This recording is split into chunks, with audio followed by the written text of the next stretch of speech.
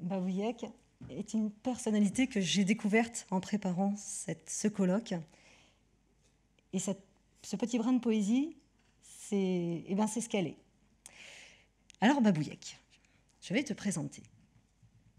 Babouillec, qui s'appelle Hélène, de son nom de jeune fille, Babouillec a été, euh, jusqu'à l'âge de 14 ans, je crois, était donc en institut, en IME, suivi, et madame, madame la maman de Babouillec, de Hélène, à 14 ans, on vous a dit que Hélène n'avait quasiment euh, aucune chance de progresser, qu'elle avait atteint son stade ultime de développement cognitif, et donc euh, qu'il n'y avait plus d'espoir, que ça ne servait un peu à rien de continuer à travailler, à la solliciter. Ou...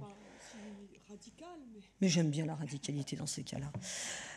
Et, mais vous avez pris surtout une, une décision euh, qui est que bah, vous, vous n'avez pas baissé les bras et vous n'avez pas accepté qu'on puisse dire de votre enfant qu'elle euh, ne pouvait pas progresser. Et vous avez euh, comme ça un jour réalisé, euh, à force de, travail, de, contact avec, avec votre fille, qu'en fait, eh ben, Hélène pouvait s'exprimer, bah, pouvait communiquer, mais surtout exprimer, savait lire, presque écrire. Mm. Et, vous l'avez découvert un peu, si je prends l'exemple du Scrabble, c'est par les lettres. Par le hasard. Par le hasard. Et voilà. Et, en fait, Hélène exprimait euh, beaucoup d'idées. Et surtout, vous avez découvert qu'elle avait une âme de poète. Mm.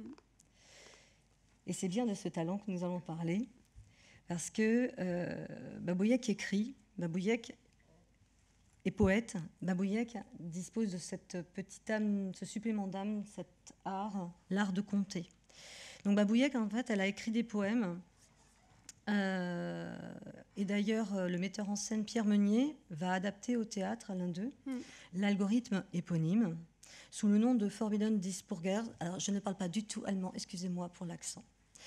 Et c'est pendant la préparation de ce spectacle où Julie Bertuccelli, qui est réalisatrice, a rencontré Babouillec. Et de là va naître une relation très très très forte entre Babouillec et Julie et qui va signer le début d'une autre aventure qui va durer trois ans et qui va donner naissance à un documentaire que vous avez peut-être vu, qui s'appelle Dernière nouvelle du cosmos, qui, met donc, qui explique ce que Babouillec est.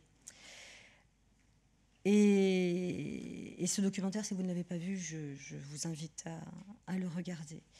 Et là, surtout, Babouillec vient de terminer, donc c'est en mars 2018, un roman, son premier roman, s'appelle Rouge de soie et dont l'héroïne, on pourrait dire, est un peu l'avatar parlant d'Hélène. Et simplement, je vais vous lire quelques extraits du livre, une phrase simplement du livre, qui pour moi, euh, je caractérise euh, l'ouvrage. Je m'appelle Héloïse Othello. Je cours contre l'idée de la perte de l'identité individuelle au bénéfice de l'identité collective. En clair, être soi-même et non une identité manufacturée dans la chaîne de l'identité sociale. Waouh Voilà comment Babouillec décrit, en début de son œuvre, son héroïne, Héloïse Othello. Avant de laisser s'exprimer Babouillec, parce qu'elle va s'exprimer devant vous, je voudrais également lire un autre texte que tu as écrit, je crois, pour le début de l'année que j'ai trouvé sur Facebook. Alors, je l'ai un petit peu trituré pour éviter qu'il soit trop long. C'est ça, les vœux. Les vœux, voilà, j'ai bien compris. Alors, je l'ai réduit, pas, pour pas, mais pour que vous puissiez entendre, je pense, toute la poésie, parce que c'est véritablement ça qui est magnifique. Donc, je vous, je vous lis. Arrêter le défilé incessant des traces du passage du temps éviterait-il à la planète de s'humaniser? Au risque de perdre son identité Je ne sais pas. Sommes-nous capables d'arrêter la course du temps? Cette valeur de l'échange du vieil adage, le temps c'est de l'argent. L'homme est-il encore capable d'aimer hors du temps, sans frontières, sans limites, comme une pulsation, un aller-retour entre les éléments de la matière et de l'esprit? Je ne sais pas. Alors, que devons-nous souhaiter pour cet espace-temps 2019 à l'infiniment petit être humain l'état actuel du monde. Dans la pioche du jeu savant, comment l'homme peut-il sauver sa santé mentale Je tombe sur le mot amour. Bingo, ça perd l'hypopète. Avec quoi allons-nous faire bouillir la mamite de la formule magique? Rien. Il ne faut rien. Tout est déjà dedans. Nous sommes plus ou moins équipés, mais qui sait s'en servir? Nous, terriens de tout poil, nous traversons les siècles dans l'urgence d'atteindre un sommet, celui de l'âge, de la force, du savoir, de l'ignorance, de la paresse, du rien. Et pourquoi pas le sommet des profondeurs du soi, là où respire notre oiseau de liberté, dans l'infinie douceur de sa mise au monde. Amis de tous horizons, je vous supplie de donner à votre vie cet espace de l'infiniment grand, capable de franchir des montagnes et d'allumer la lumière de la paix, de la sérénité et de l'envol. Tous ensemble, volons dans cet espace secret d'amour et de liberté porté par le souffle du temps. C'est Babouyek, il n'y a rien d'autre à dire. C'est. Voilà. Donc.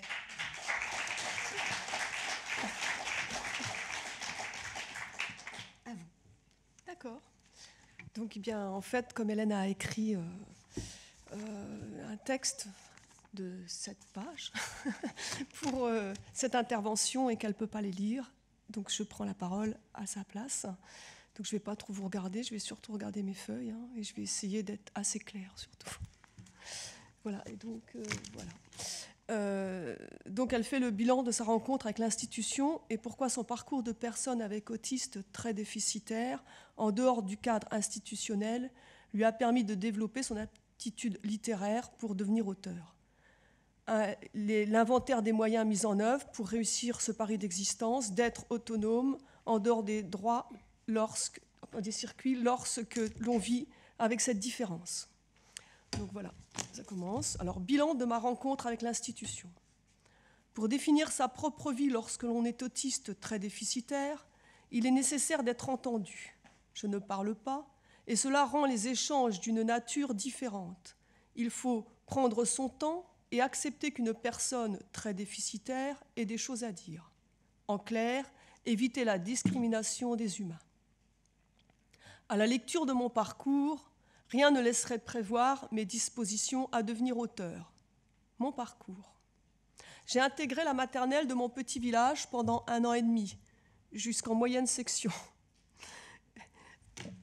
J'ai déjà six ans et demi lorsque je quitte la maternelle. Nous sommes en juin 1991. Pas le micro. En octobre 91, j'intègre un hôpital de jour, une maison dans laquelle je reste un mois. En juin 93, j'ai 8 ans et je rentre dans un IME spécialisé pour personnes avec une trisomie 21. J'ai fait 6 ans en accueil de jour dans ce lieu avant de poursuivre mon projet de vie au domicile familial avec ma mère. Que s'est-il passé pour moi jusqu'à mes 14 ans? Un grand vide. J'ai usé seul les bancs de la maternelle sans accompagnement dans une classe mixte bien remplie. Autant dire que je n'ai rien fait. À plusieurs reprises, j'ai croisé le médecin scolaire qui voulait me voir quitter l'école pour m'envoyer en hôpital de jour. Ce que j'ai fait pendant un mois, fin 91. Mes parents ont interrompu cette prise en charge qu'ils ne comprenaient pas. Les échanges entre l'hôpital et la famille étaient hermétiques. Les informations ne dépassaient pas les murs, les professionnels d'un côté, la famille de l'autre, chacun chez soi avec ses données propres. Résultat, ma capacité d'adaptation, définition basique de l'intelligence, m'a permis de régresser. De septembre 93 à juillet 99, je passe six années en IME. Six années à faire quoi? Étonnante révélation, rien. J'accuse, j'ai ma part de responsabilité, je ne voulais rien faire, alors on me laissait ne rien faire. Résultat, en 99, j'ai la tête bien pleine et un corps absent, et j'arrête l'institution. Je ne parle pas, je mange avec mes mains, je ne dors pas, et mon corps ne prend quasiment rien en charge. Pourtant, je suis la même personne. Je démarre un nouveau programme en sortant de l'institution. Ma mère consacre son temps à m'accompagner dans cette nouvelle phase de ma vie, l'organisation de mon espace-temps. Je suis diagnostiquée autiste très déficitaire. Nous travaillons d'arrache-pied l'organisation de mon corps dans l'espace. Je suis différente des normopathes, par essence. Mon cerveau s'active sans dimension obstruante. Il sélectionne les informations demandant une aptitude mentale sans interroger le corps. Donc je peux, ne peux définitivement pas vous ressembler. Je ressemble à beaucoup de personnes ici. En 2005, Ma mère a compris ma capacité intellectuelle, elle m'a inventé un outil intelligent pour écrire et communiquer.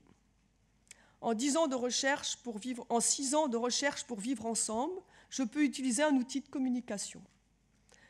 la dimension intelligente de mon autisme peut enfin s'exprimer. J'ai 20 ans, une vie intellectuelle enfermée dans un corps muet, a grandi pendant 20 ans sans atteinte culturelle. En six ans, je suis devenue une personne entendable, douée d'une forme d'intelligence. Tiens, si tu veux poursuivre.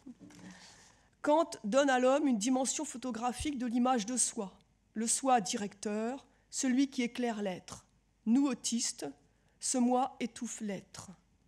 J'ai ouvert cette parenthèse de mon parcours pour mettre en lumière un parcours hors circuit, ce que nous sommes dans le système et quelle intelligence nous devons développer pour exister. En 2006, j'écris mes premiers poèmes. À partir de cette période, l'écriture est au centre de mon quotidien. Cela devient mon lien avec les autres, moi-même et mon environnement. De fil en aiguille, j'ai trouvé la matrice vectorielle de mon destin d'auteur. J'ai décidé de donner ce sens à ma vie, traduire chaque mouvement de ma perception du monde avec des mots. J'ai la chance d'être équipé du don de l'écriture. J'ai œuvré corps et âme à créer des textes pour rendre compte de mon existence profonde. J'ai rencontré le théâtre, le cinéma, mes éditeurs, un public et le pouvoir d'être entendu et de faire comprendre toute la richesse de notre existence. Je suis ici aujourd'hui pour témoigner de mon statut de femme autiste et du travail. Être autiste est un statut, non, être auteur, est un statut aussi compliqué à mettre en valeur que celui d'être autiste. Il faut aimer les défis et être bien accompagné. Il paraît que j'ai un CV super impressionnant. Après 20 ans de silence, j'ai commencé à écrire en 2006 avec un alphabet en carton plastifié. Quelques dates clés de mon parcours. C'est marqué, non oui, Parce que alors c'est assez long. En 2008, j'écris mon premier long texte intitulé Raison et acte dans la douleur du silence. Il a reçu un prix d'encouragement par le Centre national du théâtre. Il est publié aux éditions Christophe Chaument et joué au festival Mettre en scène à Rennes en 2011. En 2009, j'écris Algorithme éponyme, publié en 2012 chez Christophe Chaument, joué par la compagnie de Pierre Meunier dans le IN à Avignon en 2015 et a reçu l'aide à la création. En 2010, j'écris Soif de l'aide, publié chez Christophe Chaument. En 2013, en 2013. En 2011, j'écris mon premier roman Rouge de soie, publié en 2018 aux éditions Payot et Rivage. Il a reçu un bel accueil de la presse littéraire. En 2012, j'écris le spectacle Un jour de neige pour l'auteur-compositeur-interprète Erwan Roux et l'album sort en 2019. En 2013, j'écris Jeux ou autopsie du vivant, texte poétique publié en 2016 chez Payot et Rivage avec mes deux premiers textes. Et ce même texte va être créé euh, au théâtre en 2020. En 2014, j'écris Bulle d'horizon, un texte en cours d'illustration. En 2015, suite à une résidence à la Chartreuse en Avignon, J'écris Oracle intérieur, lu lors du festival IN d'Avignon en 2015. C'est tout écrit en plus. En 2016, euh, j'écris Le métronome de nos errances, un livret d'opéra pour le compositeur Stéphanie, qui est en cours de création. En 2016, c'est la sortie du film documentaire de Julie Bertuccelli, Dernière nouvelle du cosmos, dans lequel je suis le personnage principal, film qui a été nommé au César en 2017. J'écris également en 2017 Le voyage au centre d'un cerveau d'autiste est une commande et lecture à la Comédie de Genève. 2016 et 2017, mes, mes textes ont été choisis par un établissement de Quimperlé pour le bac de français. En 2017, lecture de mon texte Jeu ou autopsie du vivant par Stéphane Fraisse, aux nuits de la lecture à la bibliothèque Chaptal dans le 9e. Et j'écris une adaptation de Pinocchio pour le cinéma. Et en 2018, on y est, un nouveau roman. Je suis la personne qui a traversé ces années à ne pas savoir comment exister, et ma vie aurait pu basculer dans le non-retour pour toujours. Être une auteure du silence, c'est quoi? Ça sert à quoi? J'aime à la rappeler que je n'ai pas appris ni à lire ni à écrire. Pourtant, on me compare à Antonin Artaud ou à Beckett. Une auteure du silence est avant tout une personne désarmée pour défendre ses droits et sa place, ses droits à être reconnus pleinement pour ses droits d'auteur et la protection juridique des textes. Je ne suis pas en mesure de gérer le caractère administratif de ce travail. Je dois être accompagné d'une tierce personne. Voici un aperçu de ce que représente mon travail. En moyenne, j'écris un texte par an avec mon alphabet. Un tiers doit saisir le texte, le mettre en forme avant de le proposer à l'édition ou à la création. Éditer un livre demande à nouveau un travail de correction, de préface et d'interview. Une création pour le théâtre une création pour le théâtre est un travail d'échange et de rencontre avec l'équipe autour de l'écriture et des propositions au plateau. Tourner un documentaire représente euh, plusieurs semaines de présence avec la réalisatrice et en même temps plusieurs semaines d'absence de chez soi. Mon écriture du silence intéresse le monde du spectacle, de la création, par sa singularité. Cela est passionnant pour moi de me confronter au monde extérieur. Je suis appelée à beaucoup me déplacer. Toute cette aventure s'accompagne d'un travail de logistique auquel je ne peux pas faire face. C'est le revers de la médaille d'être autiste et, je l'accepte. Et je crois que nous devons repenser très sérieusement aux bénéfices apportés par la singularité des personnes avec autisme dans une société où la compétition et le profit occupent une large place dans le marché du travail au détriment de la condition humaine. Nous sommes des représentants de la condition humaine. Avant de développer cet aspect particulier de notre représentation, je dois poursuivre mon allégorie sur mon travail d'écriture. Il est important de préciser que ce travail génère une activité économique avec différents acteurs comme le théâtre, le cinéma, l'édition, les libraires, les professionnels, etc. Je commence à gagner des droits d'auteur et devenir plus autonome financièrement. Et j'espère vivement devenir autonome financièrement avec ma double peine d'être autiste et artiste et auteur. Pardon. Je ne suis pas un exemple, juste un contre-exemple d'une forme de réussite. Seul, je ne pourrais pas poursuivre mon activité ni financièrement ni administrativement. Nous sommes des représentants de la condition humaine. Un modèle comme le mien est un modèle chaotique de notre société. En effet, prendre le large dans notre système administratif est un combat depuis le premier jour où j'ai décidé de devenir auteur, j'ai dû me battre avec les instances administratives. En 2008, ma mère a ouvert un lieu OVNI, comme on le surnommait, un lieu expérimental dédié aux personnes avec autisme très déficitaire et sans offre de solution. Ah non, tu te déshabilles pas. J'ai intégré ce lieu en, en, accueil de jour en fin 2008. Elle est présidente, bienfaisante, et pourtant seuls mes déficits étaient pris en compte. Mon corps prend plus de place que mon intelligence.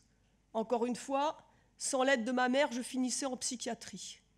En 2013, je pose ma démission sur le bureau du directeur pour reprendre le cours de ma vie avec ma mère qui informe la MDPH de Rennes de mon souhait de sortir de l'institution pour me consacrer à mon travail d'écriture.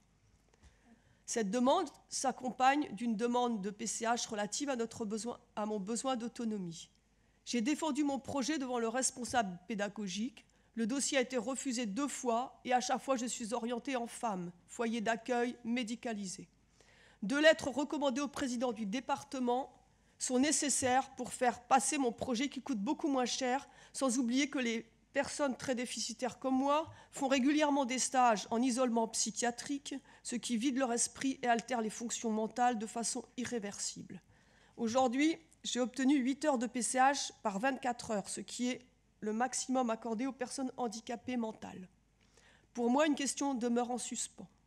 Les personnes lourdement handicapées physiques sont accompagnées 23 heures sur 24, ce qui leur permet de vivre dans le lieu de leur choix. Moi, aujourd'hui, sans le bénévolat de ma mère, avec 8 heures par jour, je finis en psychiatrie. Est-ce le bilan d'une société en bonne santé? En présentant mon parcours, je prends conscience de l'importance accordée à mes déficits.